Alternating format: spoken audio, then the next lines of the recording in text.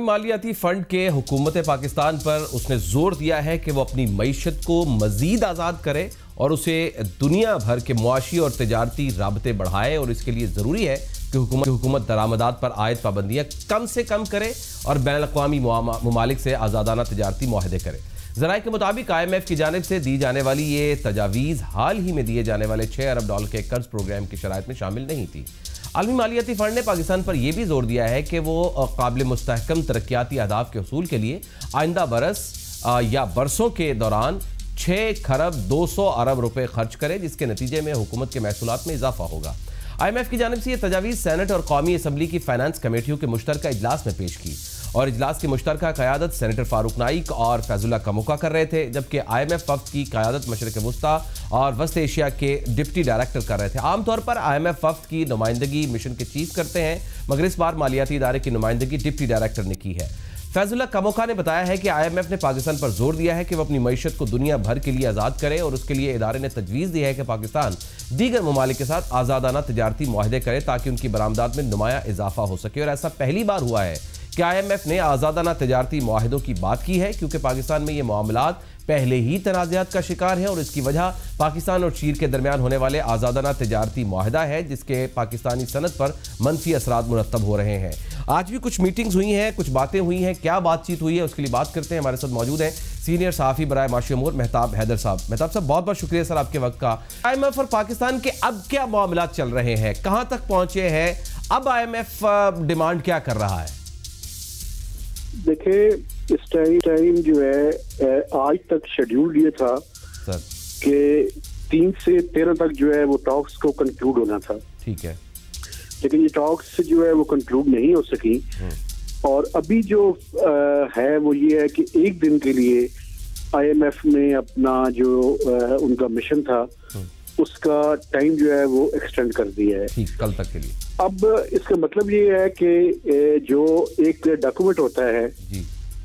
جس کو اپنی ٹیکنیکل لینگویج وہ memorandum of economic and financial policies کہتے ہیں ٹھیک ہے۔ کہ جس میں دونوں سائز جو ہیں وہ ایگری کرتی ہیں کہ انہوں نے معیشت کو آگے جو ہے وہ کہاں لے کر جانا ہے اور کون کون سے ٹارگیٹس ہیں اور کون کون سے پرائر ایکشنز ہیں اور کون کون سے کام ہیں۔ اس کا مطلب ہے کہ ان دو اس ڈاکومنٹ پہ ابھی تک جو ہے وہ ایگریمنٹ نہیں ہو سکا۔ صحیح ہے۔ اب اس کا مطلب تو یہ لیا جا سکتا ہے، لیکن جو پاکستانی اتھارٹیز ہیں، وہ یہ کہہ رہی ہیں کہ نہیں، ایسی کوئی چیز نہیں ہے۔ تو کو یہ ہے کہ کل جو ہے، وہ سٹاف لیول ایگریمنٹ جو ہے فائنل ہو جائے گا اور اس کے بعد جو ہے آئی ایم ایف جو ہے، وہ اپنی افیشیل پریس ریلیز بھی جو ہے، وہ جاری کر دے گا۔ تو اب دیکھنا یہ ہے کہ کیا یہ صورتحال جو ہے، وہ ڈیڈ لاک کی طرف بڑھ رہی ہے یا جو ہے وہ جو ایشوز ہیں وہ ریزالو کر لیے جاتے ہیں۔ جو بنیادی طور پہ جو حل طلب مسائل ہیں ان میں یہ ہے کہ آپ کے جو ایف بی آر کا ٹارگٹ ہے پاکستان کی یہ خواہش تھی کہ اس کو جو ہے مزید ڈاؤن ورڈ ریوائز کیا جائے۔ لیکن آئی ایم ایف کی طرف سے یہ ہے کہ اگر آپ اس کو ڈاؤن ورڈ ریوائز کریں گے اور نان ٹیکس ریونیو کی طرف اگر آپ چیزوں کو لے کر جائیں گے تو کیا یہ سسٹینیبل ہے؟ یہ ون آف مثلا سال اگر آل این جی کے پلانٹس آپ نے پرائیویٹائز کر دیے تو اگلے سال تو آپ کے پاس اتنی بڑی ٹرانزیکشن کوئی نہیں ہوں گی۔ تو آپ اپنی ریلائنس ٹیکسیشن کی طرف بڑھائیں۔ اور دوسری جو میں سمجھتا ہوں سب سے بڑا جو ایشو ہے آپ کو پتا ہے پرائم منسٹر صاحب نے کہا ہے کہ ہم بجلی اور گیس کی قیمتیں نہیں بڑھائیں گے۔ جی بالکل۔ جب آپ آئی ایم ایف کی ٹاکس کے اندر ہوں تو وہ پھر آپ سے پوچھیں گے کہ اگر آپ بجلی اور گیس کی قیمتیں نہیں بڑھائیں گے تو یہ جو لاسز ہیں ان کو آپ کس طریقے سے جو ہے وہ ریکور کریں گے؟ اس کا کوئی آلٹرنیٹ پلان جو ہے وہ لے کر آئیں۔ تو میں سمجھتا ہوں اس کے ساتھ ساتھ آپ نے جو بات کی یہ جو فری ٹریڈ ایگریمنٹس ہیں جی جی جی اس کے بارے میں بھی جو ہے وہ ہے۔ اور میرے خیال میں جو چائنیز لونز اور جو چائنیز فری ٹریڈ ایگریمنٹ ہے اس کی طرف بھی ان کے اشارے ہیں کہ آپ صرف ایک ہی اس میں اپنے تمام انڈے ایک باسکٹ میں نہ ڈالیں۔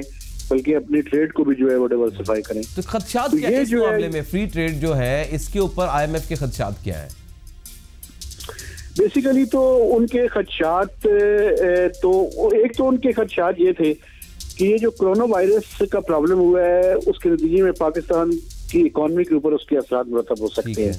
تو آپ اپنی ٹریڈ کو اور باقی چیزوں کو ڈیورسفائی کرنے کی کوشش کریں تاکہ جو ہے وہ آپ کا ریلائنس ایک ہی طرف نہ ہو۔ تو اب دیکھنا یہ ہے کہ اب چیزیں جو ہے وہ کس حد تک آگے بڑھتی ہیں۔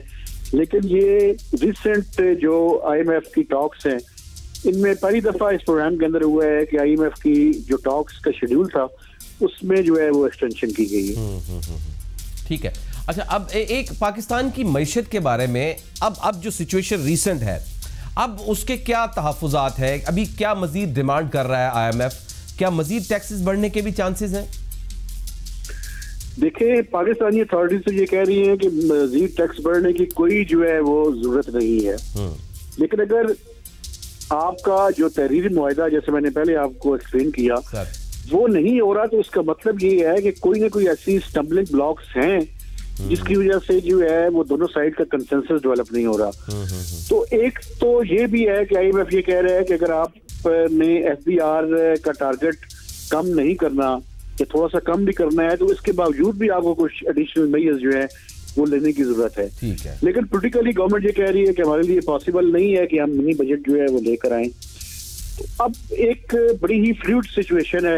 اس میں کوئی چیز پرڈکٹ کرنا کہ جو ہے وہ کل جو ہے کوئی ڈیڈ لاک ہوگا یا کل جو ہے وہ تمام چیزیں پازیٹیولی حل ہو جائیں گی۔ لیکن جتنی پاکستانی کام یہ کہہ رہے ہیں کہ بہت آسانی سے چیزیں حل ہو جائیں گی شاید اتنا آسان نہیں ہے۔ کہ وہ جو ہے ایک طرف تو یہ ہے کہ آپ ٹیکسیشن کی وہ بات کر رہے ہیں دوسرا یہ ہے کہ بجلی اور گیس کی قیمتیں بھی آپ کو بڑھانی پڑیں گی۔ لیکن چونکہ پرائم منسٹر پہلے اعلان کر چکے ہیں ہاں، ہاں، ہاں۔ اور ایک ایسے ٹائم پہ انہوں نے اعلان کر دیا جبکہ آئی وی ایف کے ساتھ ٹاکس ہو رہی تھی تو اس وجہ سے جو ہے وہ ایک ایسی صورتحال بھی پیش آ سکتی ہے۔ کہ جس میں یہ مذاکرات جو ہے پیچیدگی کی طرف جو ہے بڑھ سکتے بہت شکریہ میں صاحب thank you very much for your time thank you very much for these information اس کے ساتھ ہی ہمارا آج کا اپنے اختتام کو پہنچتا ہے۔ کیسا لگا؟ فیڈ بیک ضرور دیجیے گا۔ اپنا گرد و نواح کا بہت سا خیال رکھیے۔ اللہ نگہبان۔